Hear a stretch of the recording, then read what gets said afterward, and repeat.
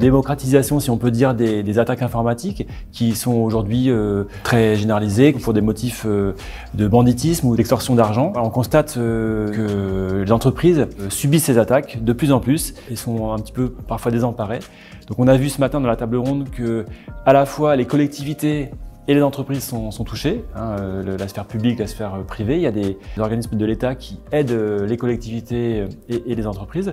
on a parlé de prévention, comment s'organiser, comment protéger les entreprises, ce que fait Céleste par exemple. on a aussi parlé de sanctions, d'enquêtes.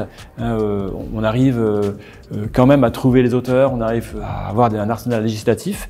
Et puis on a aussi beaucoup parlé de formation, c'était un point très important. Je crois que tout le monde s'est accordé pour dire qu'il il y avait un, très gros enjeu de formation, à la fois des collaboratrices, collaborateurs en entreprise pour euh, être sensibilisés à ce qu'il faut faire, ce qu'il ne faut pas faire, euh, mais également euh, de tout l'écosystème, même des élus, hein, puisque ça touche tout le monde. La, société va se transformer pour faire face à ces menaces qui peuvent causer vraiment des torts très importants aux entreprises. Céleste est partenaire du Forum de la technologie responsable parce que Céleste est une entreprise technologique.